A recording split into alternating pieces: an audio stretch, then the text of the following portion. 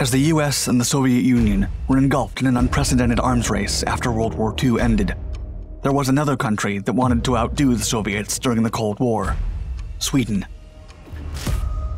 The Swedish Navy had developed the RB 08 anti ship missile for its Halland class destroyers in the early 1960s. However, it lacked the range and versatility of its Soviet counterpart, the older P 15 Termit. As such, the European nation was forced to buy American made Harpoon missiles to face a possible Soviet threat. The solution, however, was temporary. As early as 1978, Sweden started developing a new generation of state of the art fire and forget surface to surface and air to surface anti ship missiles. The ambitious design promised a unique and formidable anti ship missile that would not only surpass the P 15 Termit, but would even outdo the American Harpoon, drawing Sweden closer to military weaponry independence. In a bold move, Sweden canceled a large order of US Harpoon missiles in the early 1980s. Instead, it ordered its own domestic mighty RBS 15. Only time would tell if the ambitious Swedish technology was ready to perform in the big leagues.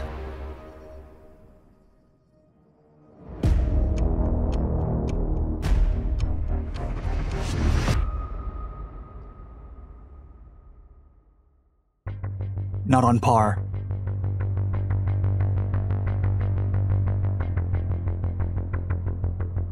In the early 1960s, Sweden had a problem. It had recently signed Sweden's Defense Resolution of 1958, which entailed a significant reconfiguration of its military branches. The Navy was to undergo a massive restructuring, abandoning its larger ships in exchange for a lighter force consisting of fast attack craft vessels.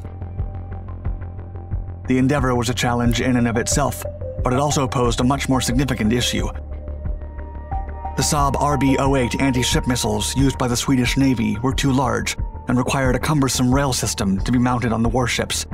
These systems would just not fit in many of the smaller vessels that the Navy was procuring.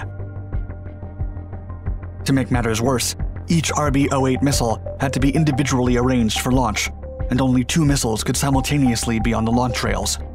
This situation put the Swedish Navy at a considerable disadvantage compared to the Soviets, whose P 15 Termit missile, codenamed Styx by NATO, stored the projectiles in individual containers on deck, making them immediately available for launch. If something drastic was not done, the new smaller ships would only be able to carry a few anti ship missiles, and they would be more challenging to store and launch. As if that weren't enough, the RB 08 which had been developed some years after the Termit, was slower and had an inferior range compared to the Soviet solution. There was no way around it. A new missile had to be developed. Soon, Saab attempted to find a swift and effective solution to the problem by taking the RB 04E missile used by the Air Force and modifying it to function as a new anti ship missile. But after an early development stage, the initial prototypes turned out to be inferior to the Harpoon missile that the Swedish Navy was already using as a temporary solution. Consequently, the idea was scrapped.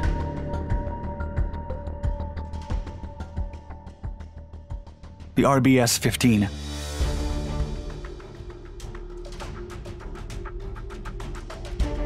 Unwilling to leave the future of Swedish defense in the hands of American technology, Saab Bofors Dynamics began the development of a new missile with the sole objective of surpassing what the Harpoon missile could do. The project was led by Hans Olander, and the design was renamed from RB-04 Turbo to RBS-15 to showcase the extensive modifications and new design measures that were taking place. Things moved quickly from then on, with a contract for development signed in 1979 and the Swedish government canceling a large Harpoon missile order the very same year opting for their own indigenous design over that of the US. The move was risky, as the RBS 15 was still in early development, but Sweden was confident in its weapon development prowess. The RBS 15 was crafted from the Air Force's RB 04 missile, but underwent several adjustments and modifications. Its frontal section was preserved, including the warhead, but the rear received new wings and a turbofan engine instead of the rocket engine used before. The missile undertook trials in 1983 and became operational within the Swedish Navy two years later. The technology proved to be highly effective, surpassing all expectations. immediate plans were made to develop a wide array of RBS 15s, including a version for the Västergötland class submarines, which were to have four vertical missile launch tubes for RBS 15 missiles in an extended hull. Unfortunately, this solution would never materialize due to budget constraints and the specific operational doctrine of Swedish submarines. Evolution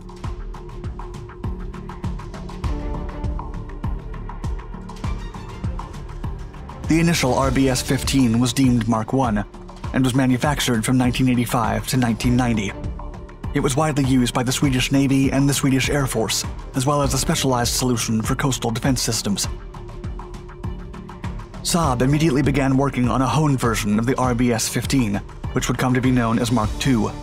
However, the corporation could not secure a manufacturing contract until 1994, when they could finally produce the newer version of the anti ship missile. The RBS 15 Mark II had the same 70 kilometer range as its predecessor. Still, it was upgraded with advanced mid course and terminal guidance systems, as well as radar and IR signature capabilities. Just as Saab attained a contract for the RBS 15 Mark II, it was already working on the design for what would become the RBS Mark III. This time, Saab cooperated with the German company Diehl Defense to modify the missile design so it could achieve a much longer operational range. Mark III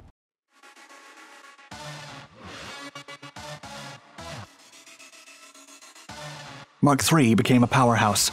Its range increased from 70 kilometers to over 200, thanks to larger fuel capacity and a new fuel formula. Additionally, the Mark III was outfitted with an integrated GPS and selectable priority targeting, which improved the weapon system's flexibility and accuracy. The Mark III became the ultimate RBS 15 system, and it is now being used by Sweden and several countries around the globe, including the German Navy, which equipped its Braunschweig class corvettes with formidable Swedish technology. The newest version of the RBS 15 has also been adapted into trucks by the Finnish truck maker Sisu, which allows the projectile to be launched from land and sea. The Mark III is still the Swedish anti ship missile that is used today, and it has been in production since 2004. The RBS 15 Mark III is a fire and forget anti ship missile that can be launched and entirely disregarded by the deploying ship which can then move to safety or deploy other weapon systems. The internal navigation and tracking systems then correct the projectile's trajectory in real time using a complex array of sensors and computer algorithms. As the projectile is deployed, it provides a spectacular sight as its two side mounted angled missile thrusters fire, sending the warhead off towards its target. The canister launching system is compact and reliable, allowing the RBS 15 Mark III missile to be launched even from smaller warships. Its advanced navigation and targeting systems deliver remarkable precision and safety for friendly units, even in the most complex combat scenarios. And the missile can reach a speed of Mach 0.9, carry a payload of 900 kilograms, and travel within a range of over 200 kilometers. the future.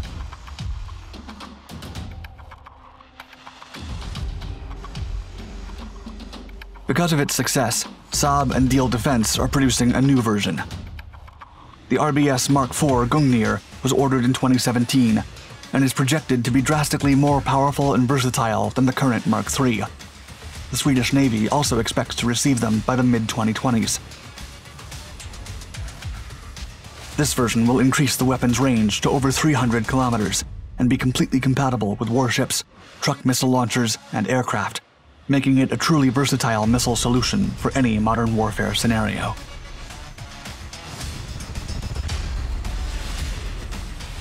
Thank you for watching our video. If you enjoyed this story, click on your screen and check out another of our Dark Documentaries channels, where we delve into the most fascinating military events and the incredible technology that made them possible. Stay tuned.